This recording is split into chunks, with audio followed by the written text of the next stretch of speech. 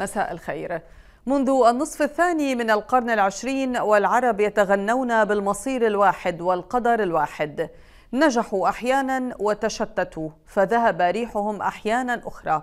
ومن جد اليوم بدأ العرب من جديد يقرؤون في كتاب واحد عنوانه اللحمة العربية فيما بدا ان القمة واحدة من أنجح القمم لكونها تستند إلى وجود إرادة سياسية حقيقية يمكن البناء عليها لحل الأزمات. في المملكة العربية السعودية التأمت العروبة بعد تغريبة سورية ثم عودة عربية إلى دمشق. حضور قوي للرئيس السوري بشار الأسد في قمة جدة للمرة الأولى منذ 12 عاما دشن خلالها عودة بلاده إلى موقعها الطبيعي في جامعة الدول العربية.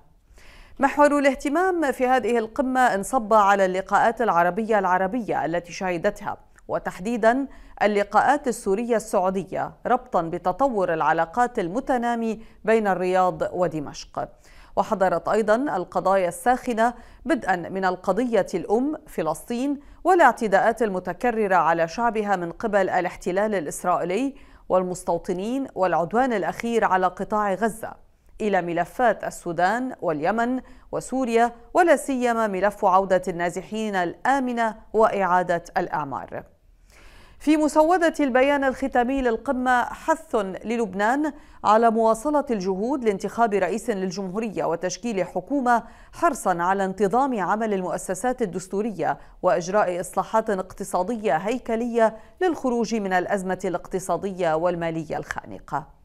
على المستوى المالي القضائي أعلن وزير الداخلية في حكومة تصريف الأعمال بسام مولوي تلقي لبنان مذكرة من الانتربول لتوقيف حاكم مصر في لبنان رياض سليمة كاشفا أنه سيكون للحكومة موقف من بقاء سليمة في منصبه خلال جلستها المقررة الاثنين المقبل.